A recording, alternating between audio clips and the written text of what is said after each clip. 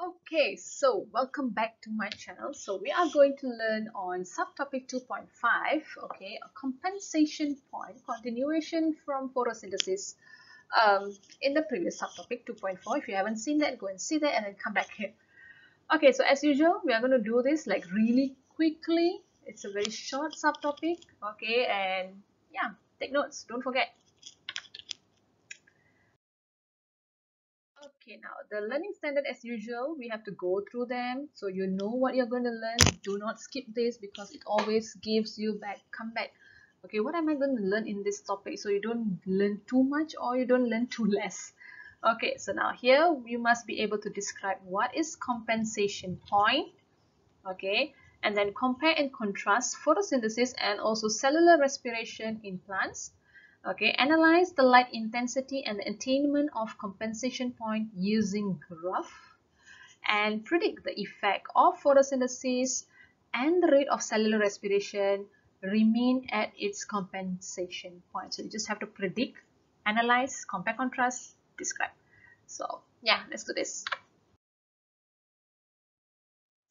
Okay, now respiration and photosynthesis, they are interdependent okay photosynthesis produces raw materials okay required by respiration. And respiration the other way around produces materials required by uh, photosynthesis. At night photosynthesis does not take place. Okay only respiration takes place. So carbon dioxide is released into the atmosphere right but at low light intensity the rate of photosynthesis is actually equal to the rate of respiration so here the gases exchange between the atmosphere and the leaf do not take place. But at high light intensity, the rate of photosynthesis is higher than the rate of respiration. Carbon dioxide is taken in from atmosphere and oxygen is released into the atmosphere. So eventually, a point is reached where all the carbon dioxide produced during respiration is used up for photosynthesis. Now at this point, the exchange of gases is at equilibrium, okay, which is known as a compensation point. So a compensation point is actually the light intensity at which net gases exchange is zero. Okay, got it?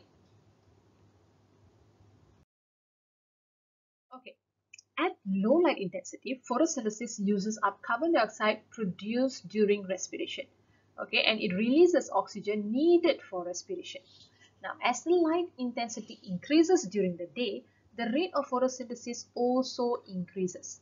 Alright, so eventually a point is reached at which all carbon dioxide it produced during respiration is used in photosynthesis, all of it.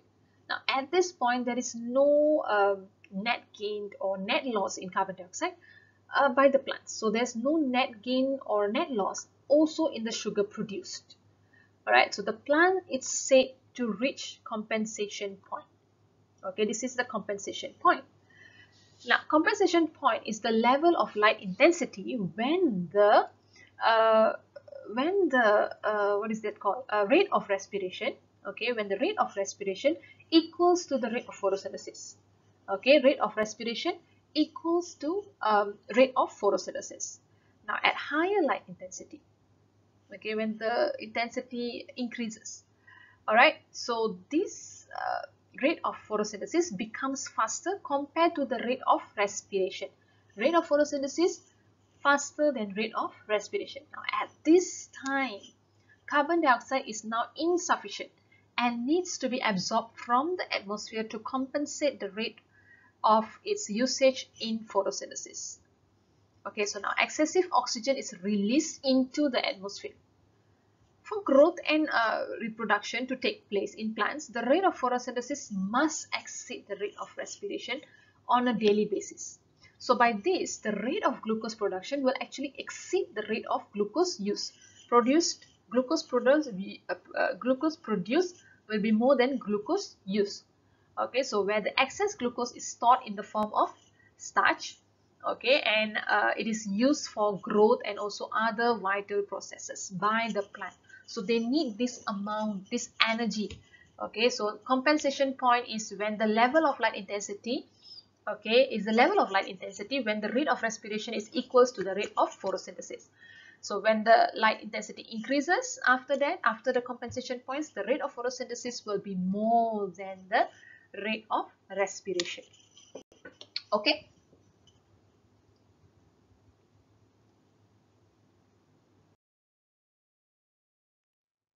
Okay, so now you have to differentiate between photosynthesis and respiration in plants. So this is a, a, you know a diagram, a table, okay, from your textbook, which already compare between photosynthesis and also respiration. Now, both process takes place in all living organism and both involves the uh, uptake and release of gases. Okay, what is the gases is a bit different from uh, photosynthesis and uh, respiration. Now, photosynthesis involves all green plants and the photosynthetic bacteria, bacteria that can carry out photosynthesis. And respiration happens in all organisms. Plants also carry out respiration. And the type of cell involved in photosynthesis is that the cells that contains chlorophyll. No chlorophyll, no photosynthesis. But respiration happens in all the cells, any type of cells. Alright, and metabolism. Anabolism for photosynthesis, catabolism for respiration. Anabolism and catabolism, you have seen this in chapter 4, form 4. If you forget, go and go through that again.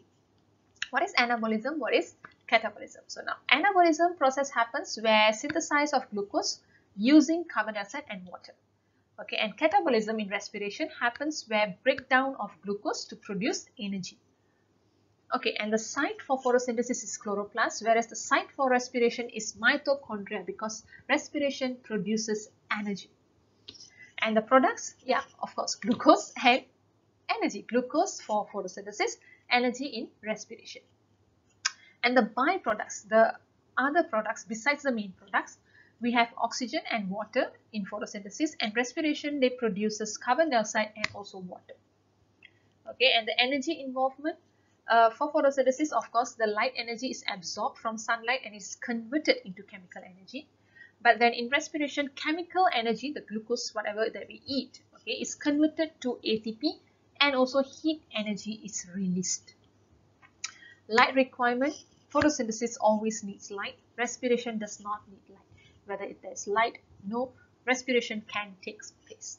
So these are two things that you have to know and differentiate because this kind of question might be asked in essay. Okay so you can uh, you know must know this. Okay so we are done actually.